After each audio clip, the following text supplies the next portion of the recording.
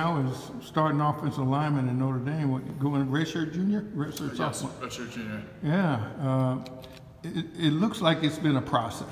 Yeah, um, it's definitely been a path, you know, and I'm, uh, I definitely do not regret coming here. It's the best decision of my life so far. Um, it takes time, you know. I was behind Mike McGlinchey my first two years. I, uh, I had the chance to uh, play a right tackle, and I wasn't ready, you know.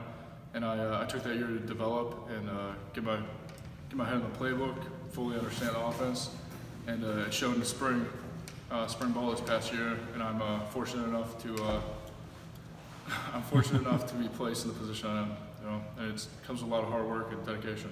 What, what was the light switch for you? What, what made you, or in your own mind, the way you felt this is natural now, this is comfortable, I can react and do what I need to do strictly based on the play call without, without thinking? Um, it was definitely just repetition from a mental standpoint, um, watching film, meeting with coach, um, and then it just kind of came together on the field. You know, I played completely different this spring, and uh, just has to do with me putting in the work. Good.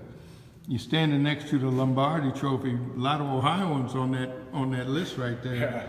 that might be something for you to uh, kind of just kind of put in the back of your mind as something, uh, maybe as a third, fourth, fifth goal going into the next couple of years. Uh, it's definitely uh, definitely a goal in the future. Um, this year, right now, is uh, to help uh, Notre Dame win and uh, win the Joe Moore Award. You know, national championship, Joe Moore Award, and uh, I want to send the seniors out the correct way. Sam Mustipher, Alex Bars, um, both of them are going to be fifth years. You know, they put a lot of time and effort into this um, institution, and I just want to pay it back to them the right way.